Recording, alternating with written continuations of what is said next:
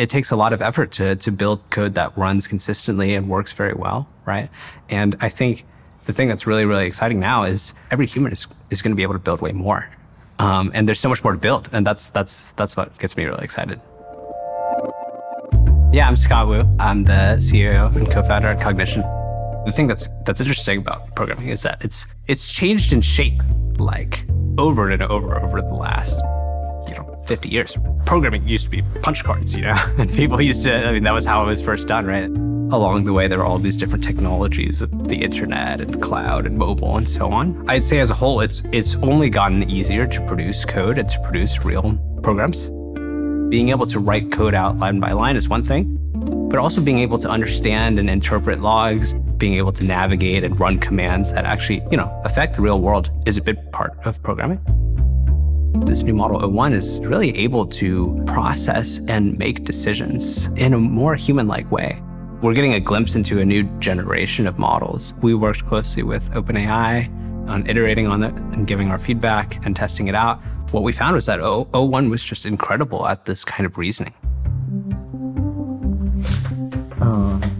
I guess I should explain what Devin is and stuff from the beginning. Yeah. okay, cool. Yeah. So, you know, at Cognition AI, we're building Devin, the first fully autonomous software agent.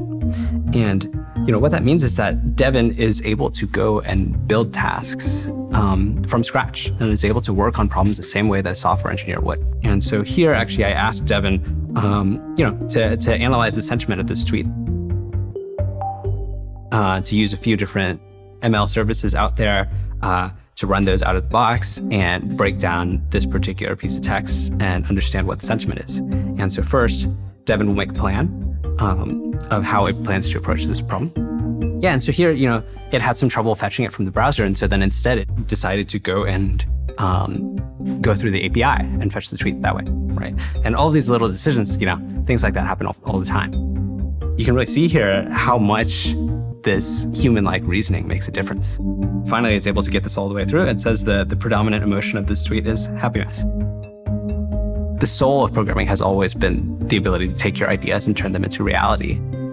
And now you can be able to do that much faster and cleaner than ever before.